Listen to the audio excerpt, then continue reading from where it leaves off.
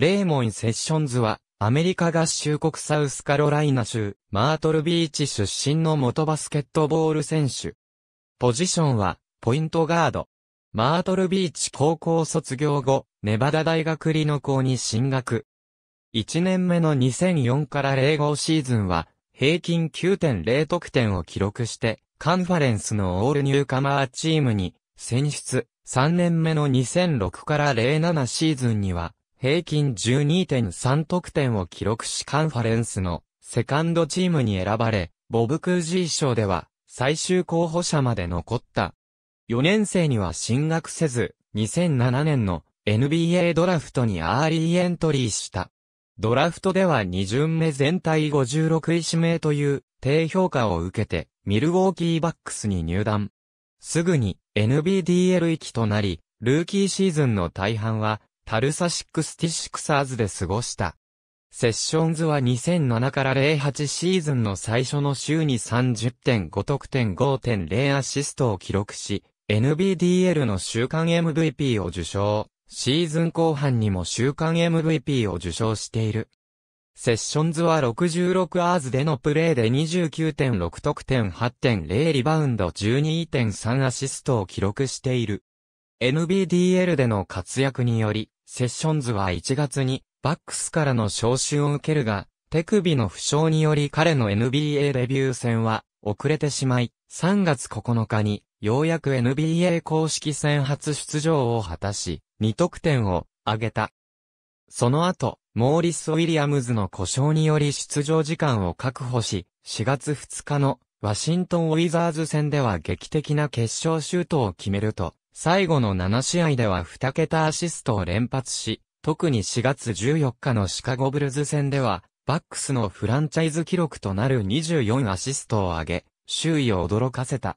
この試合では20得点も挙げており、バックス史上初の20得点20アシスト以上、達成者となった。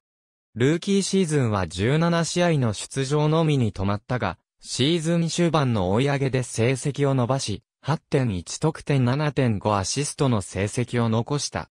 2008から09シーズンは、開幕から先発に抜擢されるが、3試合目から、ルークリドナーに、先発の座を譲り、以後しばらくは、シックスマンとして過ごす。しかし、シーズン後半に先発に復帰すると、ここからセッションズの得点力が爆発し、2桁、得点の試合を連発。2月7日のデトロイトピストンズ戦では44得点12アシストを挙げ、4月1日のロサンゼルスレイカーズ戦では16得点、10リバウンド16アシストと、キャリア初のトリプルダブルを達成している。このシーズンは12.4得点5.7アシストの成績を残した。シーズン終了後に制限付き FA となり、2009年9月4日、4年1600万ドルでミネソタティンバーウルブズと契約した。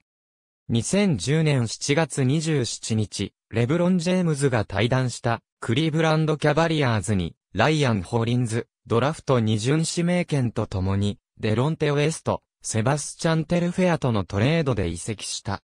2012年3月15日、クリスチャン・アイエンガと共にジェイソン・カポのルーク・ウォルトン、ドラフト一巡指名権とのトレードで、ロサンゼルスレイカーズに移籍した。2012年7月13日、シャーロット・ボブキャッツと2年契約を結んだ。2014年2月20日、ジェフ・エイドリエンと共に、ゲイリー・ニール、ルーク・リドナーとのトレードで、ミルウォーキーバックスに復帰した。2014年9月22日、サクラメント・キングスと2年契約を結んだが、2015年2月19日にワシントンウィザーズに移籍した。2016年7月4日、シャーロット・ホーネッツと2年1260万ドルの契約を結んだが、シーズン終了後に解雇。2017年7月28日、ニューヨークニックスと契約した。2018年1月13日、ニックスから解雇された。2月23日、ワシントンウィザーズと10日間契約を結んだ。ポイントガードとしてはサイズがあり、小柄なポイントガード相手には有利に働く。